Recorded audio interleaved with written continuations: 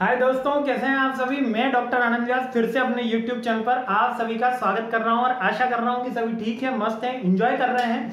और इसी के साथ मेरे साथ तैयारी भी कर रहे हैं क्यूटीएम की रक्षाबंधन का त्यौहार भी मना रहे हैं और क्यूटीएम की पढ़ाई भी कर रहे हैं। तो आ गए हैं हम ट्रांसपोर्टेशन के क्वेश्चंस में। इसमें मैं नॉर्थ वेस्ट मेथड बता चुका हूँ दो पार्ट में बैलेंस्ड और अनबैलेंस्ड अप्रोच और अब हम इसमें चेक कर रहे हैं lease cost rule lease cost rule check करने से पहले सबसे बेसिक अप्रोच क्या कहती है कि हमको डिमांड और सप्लाई की टोटल करनी जिससे हमें क्या पता चल सके कि बैलेंस्ड है कि अनबैलेंस्ड है। अगर अनबैलेंस्ड होगी तो डमी कॉलम या रो ऐड करनी होगी। सिंपल सी बात है, और अगर बैलेंस्ड है तो भैया यही। तो आइए चेक कर लेते हैं तो क्वेश्चन तो यूँ कह रहा है कि अनबैलेंस्ड है, क्योंकि यहाँ पे किसी ने कुछ लिखा नहीं। लेकिन चेक करना मेरा फ़र्ज़। तो आइए चेक करते हैं। 18 plus seven twenty five twenty five plus nine thirty four बराबर है? हाँ। यहाँ चेक कर लेते हैं। Eight plus seven fifteen fifteen plus five twenty twenty ओ हो हो थर्टी फोर तो नहीं भी लिखा है, लेकिन फिर भी इनकी टोटल तो बराबर आ रही है। यानी कि कोई डमी कॉलम और रो ऐड नहीं करनी। क्या नहीं ऐड करना? रो और कॉलम ऐड नहीं करनी। याद रखना, मैंने बताया था, इससे जस्ट पहले वीडियो में माफ़ी चाहता हूँ कि यहाँ नहीं लिखा होगा, लेकिन कभी कभी एग्जामिनर का मूड वो ना लिख के दे। पर हमारा फ़र्ज़ क्या कहता है कि पहले चेक कर लेना। जैसे मैंने पहले चेक कर लिया थर्टी फोर थर्टी फोर आगे बढ़ो। है ना? सबसे पहला ट्रांसपोर्टेशन का क्वेश्चन आएगा तो क्या करोगे? इस डिमांड और सप्लाई की टोटल लगा लोगे। अगर टोटल बराबर आ गई तो बहुत अच्छा डायरेक्ट क्वेश्चन सॉल्व करना है। डायरेक्ट क्वेश्चन में क्या है? बैलेंस डिमांड और सप्लाई यस यस लिख दो। यस जी हाँ 34 है इधर, और इधर भी 34 है। यानी कोई डिमांड कॉलम और रो ऐड नहीं करनी डमी कॉलम और रो ऐड नहीं करनी।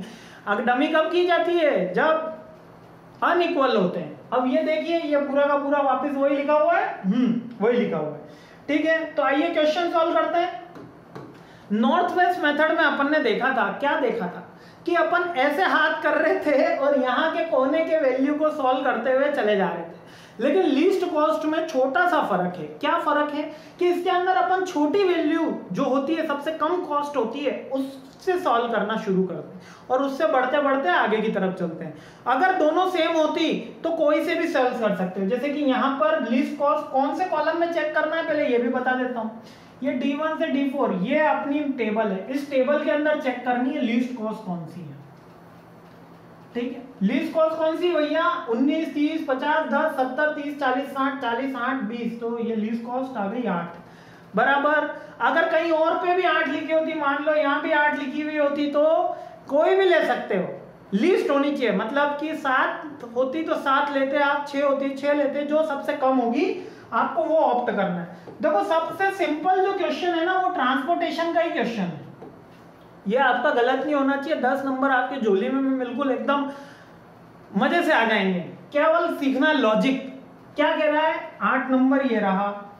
अब ये सबसे कम है तो इसको सॉल्व कैसे करते हैं सर? नीचे चेक करो और इधर चेक करो इसके। तो यहाँ पर एट है, यहाँ पर एटीन है। छोटा कौन सा है? एट तो मैंने क्या सिखाया था? जो छोटा होगा, वो ऊपर चला जाएगा। एट चला गया। बराबर? यहाँ पर क्या है? एटीन तो यहाँ पे एटीन में से एट माइनस हो गया तो कितना बचा? टेन जैसे ये एट कैंसिल होके ज़ीरो हुआ, क्या हुआ? मेरी पूरी की पूरी डिमांड ज़ीरो हो गई, यानी डी टू का जो कॉलम था, ये कैंसिल हो गया। ठीक है? मैंने ये भी कैंसिल है ना? ये भी कैंसिल ये भी कैंसिल क्लियर आगे बढ़ते हैं। आठ से ज़्यादा बड़ा कौन सा है? तो फिर से कहा चेक करूँगा सर मैं? तो देखो मैं बता रहा हूँ, ये जगह पूरी चेक करनी है। तो इसमें 19 50 10 तो 10 सबसे छोटा है 10 से छोटा कोई है क्या? नहीं है। तो मेरे को 10 को सॉल्व करना है। ठीक है, किसको सॉल्व करना है? 10 को सॉल्व करना है। ठीक है? हम्म। 10 को सॉल्व करना है। तो 10 को सॉल्व करना है तो 10 में इधर देखो 14 है, इधर 7 है। छोटा कौन सा है? 7 है तो 7 को काट दो, यहाँ लिख दो ज़ीरो। 14 को काट दो, यहाँ लिख दो 7 बराबर? तो जैसे ही मैंने ये ज़ीरो लिखा और यहाँ पर आ जाएगा मेरा सेवन। जैसे ही यहाँ पे ज़ीरो आया, ये पूरी की पूरी रो कट जाएगी। पूरी की पूरी रो कट गई, यानी कि ये टेन कट गया, ये फिफ्टी कट गया, ये नाइनटीन कट गया। काट खट खट खट खट क्लियर? अब किसमें चेक करना है सर अब ये इसमें चेक करना है, देखो। अब कौन कौन बचा है? सत्तर बचा है, चालीस बचा है, साठ, बीस, सत्तर, चालीस। तो अब, ओहो, बीस बचा है? चलिए तो बीस पे सॉल्व करेंगे अपन मेरे को लग रहा था चालीस ही बचा है। तो बीस बचा है। जब यहाँ पे बीस को मैंने चेक करा तो यहाँ पे है दस और यहाँ पे है सात। यहाँ पे है दस और यहाँ पे क्या है? सात। बराबर? छोटा कौन सा है? सर, सात है। तो यहाँ पे सात लिख दो। और दस में से सात माइनस कर दो तो कितना बचेगा? तीन। दस में से सात माइनस करूँगा, कितना बचेगा? तीन। तो जैसे ही मेरे ये ज़ीरो हुआ, सात में से सात चला गया, पूरी की पूरी डिमांड कट गई। ये कट गया, ये कट गया, ये कट गया। क्लियर कोई दिक्कत नहीं। अब क्या बचा है सर अब देखो, अब मेरे बचा है चालीस। चालीस बचा, सत्तर बचा सत्तर बचा, चालीस बचा। इसके अलावा कोई डिजिट बच रहा है? नहीं बच रहा। तो मैं कौन सा चालीस लू? चलो सर, ये वाला ऊपर वाला ले लो। कोई दिक्कत नहीं, नीचे वाला लोगे तो भी कोई दिक्कत नहीं आएगी, है ना? तो ऊपर वाला लिया अपन ने तो नीचे है सात और इधर है नौ। इधर है सात और इधर है नौ। तो पहले कौन सा आएगा? सात आएगा। क्योंकि छोटा सात ही है ना?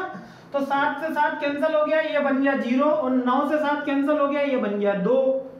क्लियर जैसे ये ज़ीरो बना, ये पूरी रो पूरा का पूरा कॉलम कट गया, ये कट गया, ये कट गया।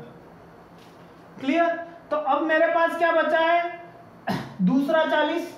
तो इस दूसरे चालीस को उठाओ, यहाँ पे पाँच और यहाँ है तीन। यहाँ है पाँच और यहाँ है तीन। तो यहाँ पाँच को लूँगा कि तीन को? वही सब तीन आएगा ना। ठीक है? तो जैसे ही मैंने यहाँ पे तीन लिया, ये तीन तो हो गया ज़ीरो, और यहाँ पाँच में से माइनस के तीन होके हो गए यहाँ पे दो। बराबर? तो ये चालीस कट गया, आठ, सत्तर, ये सारे सब कटे हुए थे। लास्ट कॉलम कितना बचा है मेरा? सत्तर बचा है। यहाँ है दो और यहाँ है दो। तो कोई सा भी ले सकते हो भैया, कोई दिक्कत की बात नहीं। डायरेक्ट यहाँ पर दो लिख दो। तो ये भी ऑटोमेटिक कट गया, ये भी सॉल्व हो गया। कटने का मतलब कैंसिल होना कैंसिल होने का मतलब सॉल्व हो जाना।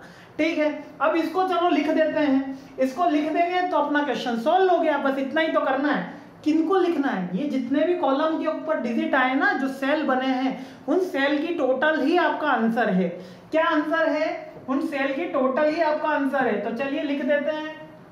पहले के अंदर कुछ है क्या? दस into seven ten into seven plus दूसरा seventy into two seventy into two plus तीसरा फोर्टी इंटू सेवन फोर्टी कहा गया?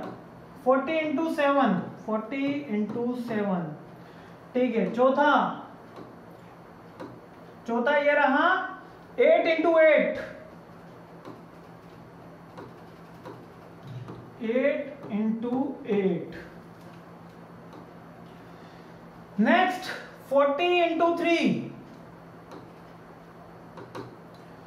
forty into three next अच्छा ये ऊपर नीचे हो सकते हैं आप। फोर्टी इंटू थ्री पहले लिख सकते हो, कोई दिक्कत की ऐसी बात नहीं। Twenty into seven twenty into seven तो चेक कर लेते हैं एक बार कि छह के छह अपन ने लिख दिए, छह थे। एक, दो, तीन, चार, पाँच छ तो बराबर छह सेल थे, छह सेल मैंने लिख दिया है। इसकी टोटल लगाओगे आंसर आ जाएगा। तो क्वेश्चन आगे सॉल्व किया हुआ होगा, देख लेते हैं। तो किया हुआ है? दस इंटू सात, सत्तर इंटू बीस, चालीस इंटू सात, चालीस इंटू तीस eight into eight twenty into seven और आंसर ये रहा एट वन फोर क्लियर है? ये आपका आंसर आ गया। बताओ कितना सिंपल है। केवल आपको काटते समय याद रखना है कौन सी चीज़ काट रही है। हाँ ये रहा आपका टेस्ट देखो सेम क्वेश्चन है। केवल मैंने यहाँ क्या चेक बदल दिया है? यहाँ पे टेन कर दिया है। यानी कि ये बैलेंस्ड अप्रोच है। मैं फिर से बोल देता हूँ बैलेंस्ड अप्रोच है, क्योंकि डिमांड और कॉलम इसकी बराबर है। लेकिन यहाँ पर दस ले दिया, ये भी मैंने खुद से बनाया, एक डिजिट चेंज कर दिया। आप मेरे को इसका आंसर कॉलम में कमेंट बॉक्स में ज़रूर दीजिएगा। कॉलम और रो बोलते बोलते हमारे मुँह से कॉलम निकल रहा है। ठीक है कमेंट बॉक्स में ज़रूर दीजिएगा और बताइएगा इस क्वेश्चन का लिस्ट स्क्वायर मेथड से सॉल्यूशन क्या है। कौन से मेथड से? लिस्ट स्क्वायर और जो थोड़े मेगा भी छात्र हैं, जो थोड़ा पढ़ना चाहते हैं, वो इस क्वेश्चन को ही नॉर्थ वेस्ट मेथड से भी सॉल्व करेंगे। क्योंकि नॉर्थ वेस्ट भी मैंने बता दिया है, यही क्वेश्चन नॉर्थ वेस्ट से भी सॉल्व कीजिए और लिस्ट कॉस्ट से भी सॉल्व कीजिए। और मेरे को इसका आंसर कमेंट बॉक्स में दीजिए और जल्दी दीजिए, मैं इंतज़ार कर रहा हूँ। और इसी के साथ रक्षाबंधन की आपको शुभकामनाएँ। जल्दी बहुत सारे दूसरे क्यूटीएम के और अंतिम प्रहार की एचआरएम की सीरीज़ भी आपके साथ आ रही है। जय हिंद खुश रहिए मस्त रहिए।